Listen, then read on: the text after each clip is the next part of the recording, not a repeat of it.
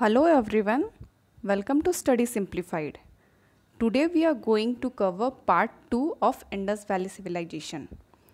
हम लोगों ने पार्ट वन कर रखा है और अब हम पार्ट टू स्टार्ट करने जा रहे हैं पार्ट टू में बेसिकली हम देखेंगे कि क्या क्या आर्कियोलॉजिकल फाइंडिंग्स हमें मिली मेजर साइट्स पे इसके अलावे उनका जो टाउन प्लानिंग का जो कॉमन फीचर्स है वो देखेंगे उनकी ट्रेडिंग उनका इकोनॉमिक कंडीशन कैसा था, ये सारी चीज़ें हम देखेंगे।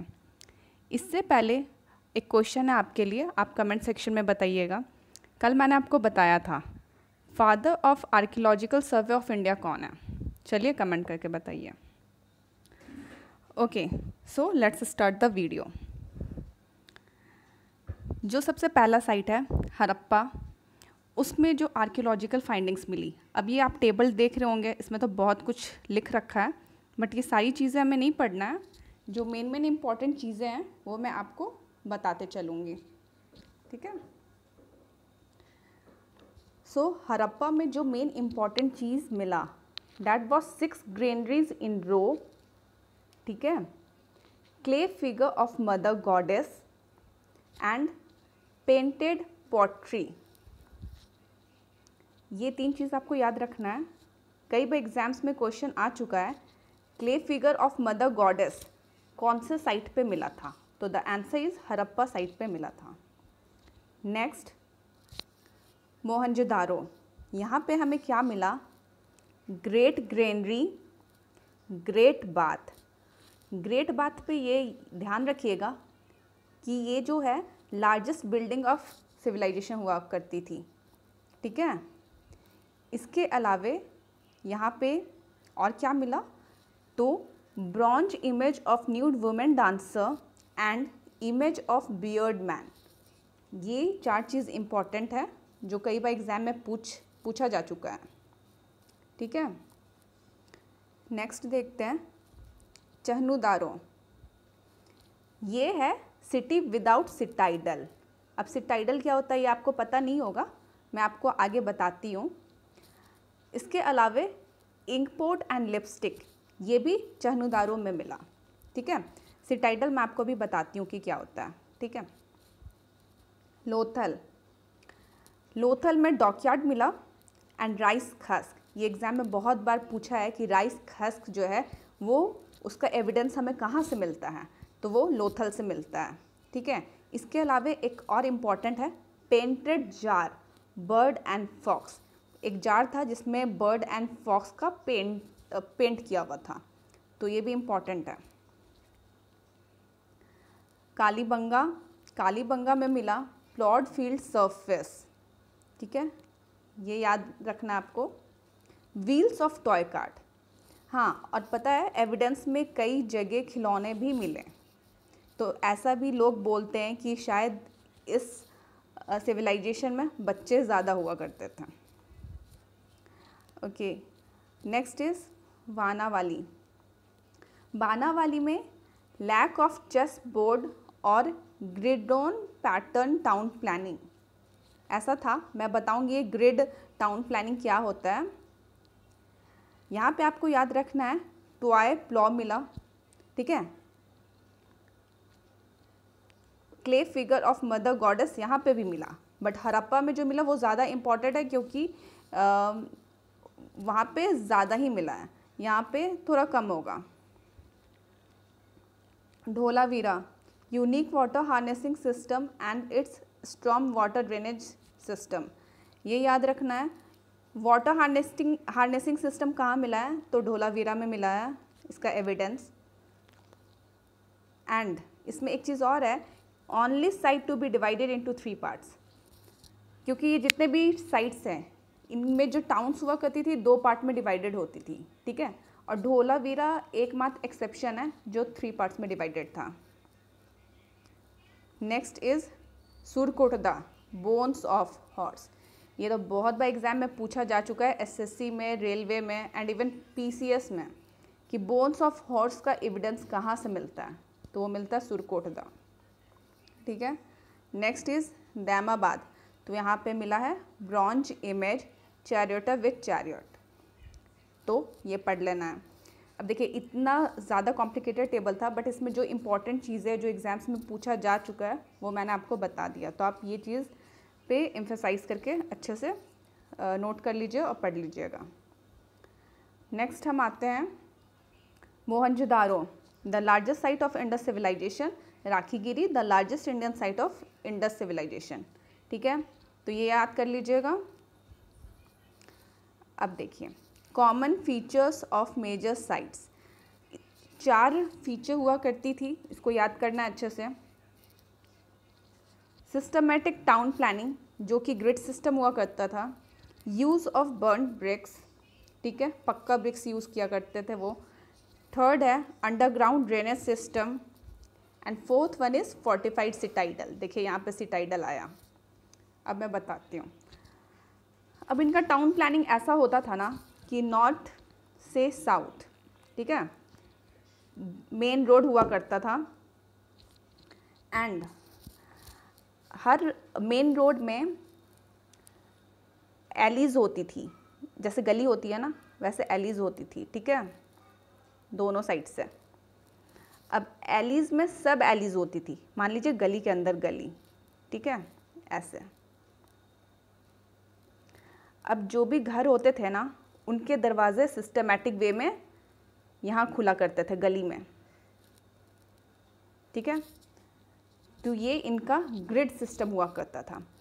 और घर बनाने के लिए वो लोग जो ब्रिक्स यूज़ करते थे, वो पक्का ब्रिक्स होता था और वो एलोवेल सॉइल का बना हुआ होता था। ड्रेनेज सिस्टम उनका बहुत अच्छा हुआ करता था, बहुत एडवांस थे वो लोग। एंड फोर्टिफाइड सिटाइडल अब देखो सिटाइडल क्या होता है। जैसे कि एक टाउन है तो टाउन टू पार्ट्स में डिवाइडेड हुआ करता था।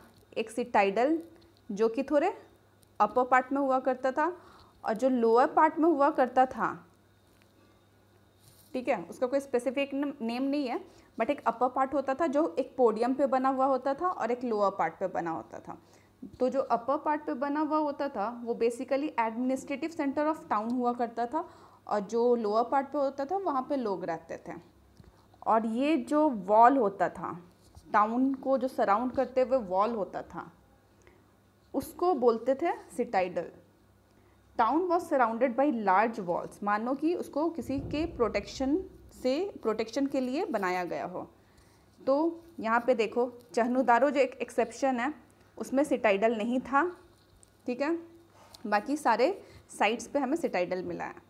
तो ये कॉमन फीचर्स याद कर लीजिएगा अच्छे से। ये भी कई बार एग्ज़ाम में पूछा जा चुका है है ना?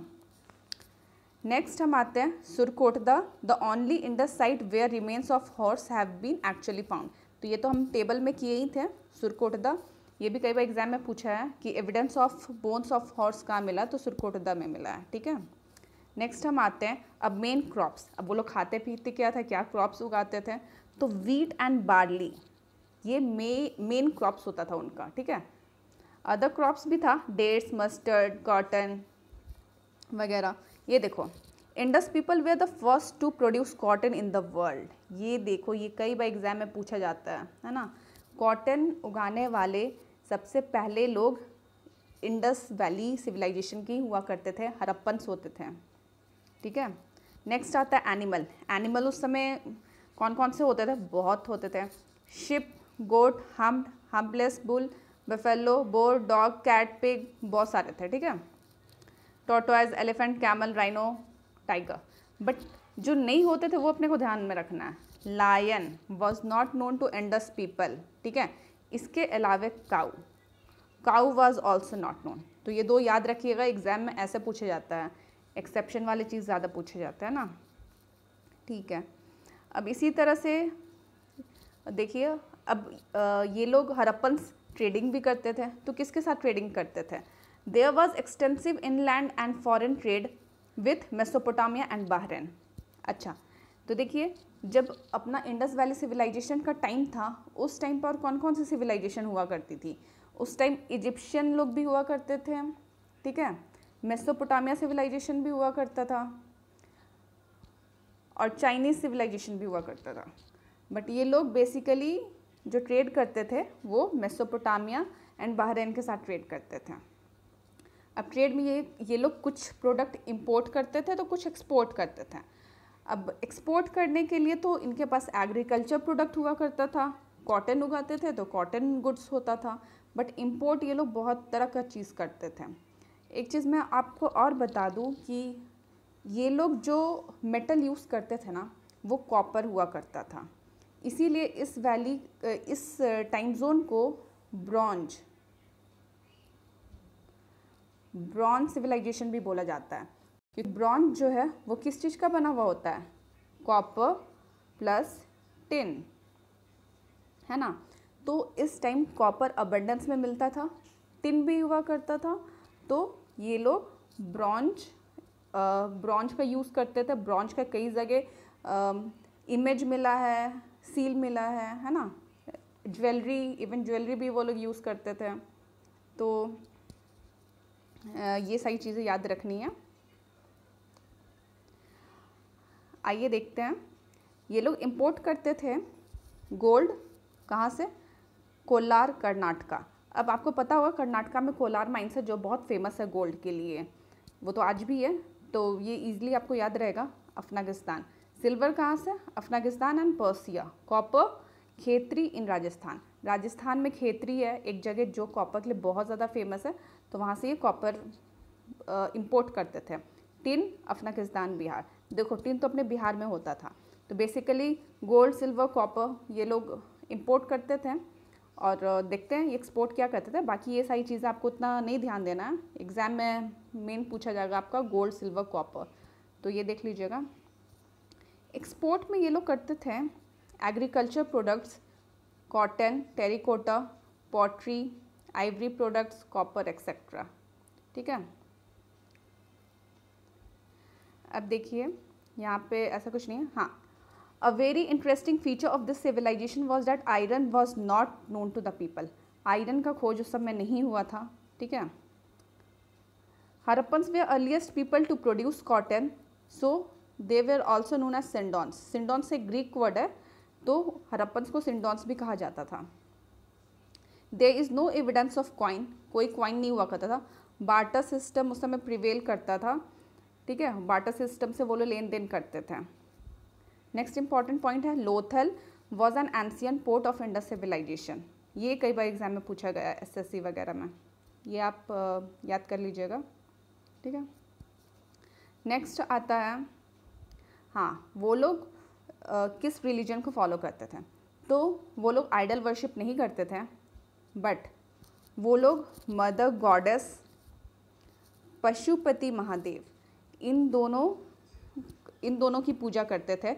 इसके अलावे ठीक है remains and relics also reveals that jewellery that is animal worship and tree worship were involve in those days बहुत ज़्यादा पॉपुलर था, है ना? Animal worship and tree worship तो इसे यही समझ में आता है कि वो लोग मदर गॉडेस का जो क्ले का फिगर मिला था, हरप्पा में, है ना? पशुपति का सील मिला। तो इससे ये समझ में आता है कि ये लोग इनकी पूजा किया करते थे, ठीक है? एंड इसके अलावा आपको एक चीज़ याद रखनी है कि जो पशुपति महादेव है, उनका जो सील मिला उसमें वो सराउंडेड बाई फोर एनिमल्स कौन कौन थे? Elephant, tiger, rhino, buffalo and two deer appears at his feet तो ये पाँच एनिमल का नाम याद रखना है क्योंकि क्वेश्चन आएगा जिसमें एक एनिमल देगा ऑप्शन में और पूछेगा कि कौन सा एनिमल नहीं था। तो ऑड वन आउट आप लोग कर लीजिएगा, है ना? ठीक है। इस तरह से हमने इनका रिलीजन भी देख लिया। और फाइनली अब ये चैप्टर का एंड है। तो इसमें देखते हैं। अब देखो, जो भी इंस्क्रिप्शन मिला, है ना? उसको डेसिफर तो नहीं किया जा सका है अभी तक बट जो पिक्चर्स हैं, उनको देख के आइडिया लगा, लगाया जा चुका है इस वजह से, इस वजह से ये जो बहुत ज़्यादा कॉम्प्लेक्स हो जाता है कॉम्प्लेक्स हो जाता है, उनका पूरा हिस्ट्री उनका ओरिजिन का पता करना, ठीक है? चलो, ये देखते हैं आगे क्या है। The origin of swastika symbol can be traced to Indus civilisation अच्छा ये जो स्वास्तिक होता है, ये भी सॉरी ये जो स्वास्तिक होता है ना, ये भी इंडस वैली सिविलाइजेशन से ही ओरिजिन हुआ है।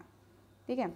अब देखो, सब कुछ इतना वेल डेवलप था, वो लोग इतने एडवांस थे, फिर अचानक से उनका नामो निशान कैसे ख़त्म हो गया? तो ये जो है, बहुत सारे स्कॉलर्स हैं, ऐसा बोलना है उनका कि इंद्र जैसे एक का देखो Indra is accuse of causing decline of Indus civilisation तो बहुत सारे लोगों हैं, लोग हैं, उनका ऐसा मानना है कि यहाँ पे बहुत बार फ्लड आया और जो साइट्स था वो डिस्ट्रॉय हो गया मोहनजोदारो के बारे में कहा जाता है कि वहाँ पे सेवन टाइम्स फ्लड आया और सब कुछ डिस्ट्रॉय हो गया, कुछ नहीं बचा वहाँ पे। तो इसी तरीके से वो जो सिविलाइजेशन था उसका एंड हो गया। एंड फाइनली हम भी चैप्टर के एंड पे आ गए हैं। एंड ये देखो कंटेम्प्रेरी सिविलाइजेशन कौन कौन सा था? मेसोपोटामिया इजिप्ट एंड चाइना ये भी क्वेश्चन में आ चुका है तो ये भी आप अच्छे से पढ़ लीजिएगा। एंड ठीक है, कल हम लोग स्टार्ट करेंगे Vedic Vedic culture so that's all in today's video we have completed this chapter मिलते हैं कल एक न्यू टॉपिक के साथ. I hope you enjoyed watching the video if you want to recommend anything please do it in comment box thank you so much